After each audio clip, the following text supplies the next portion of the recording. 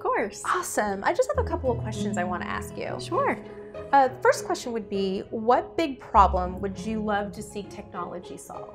Uh, definitely mentoring and I think pipelining in general for growth of career paths. I think there's a lot in there that could be both automated uh, and built as a system instead of adding a lot of human buffers in this process.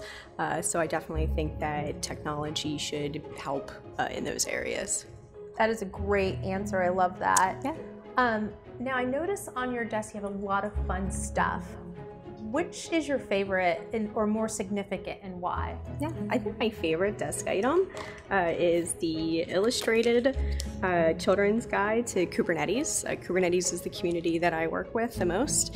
Uh, and I think when we are adding new abstraction layers to technology uh, and just innovating in technology space in general, I think it's really important that uh, we explain these concepts like we are small children. I think that it's it's important because then we really grasp those concepts uh, in an easy way.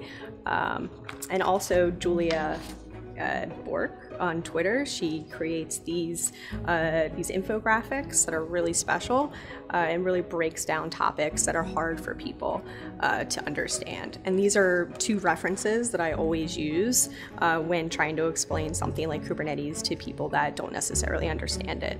How fun is that? Yeah, super fun. So next is coming up.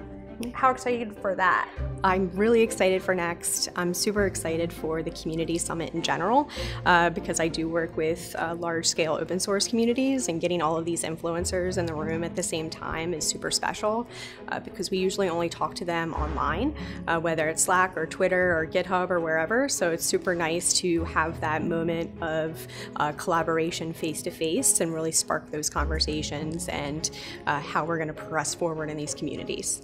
Great. Well, I'm so excited to see you there. Yes. And thank you so much for your time. Yes, awesome. right, Thank you so great day. much. You too. Mm, bye.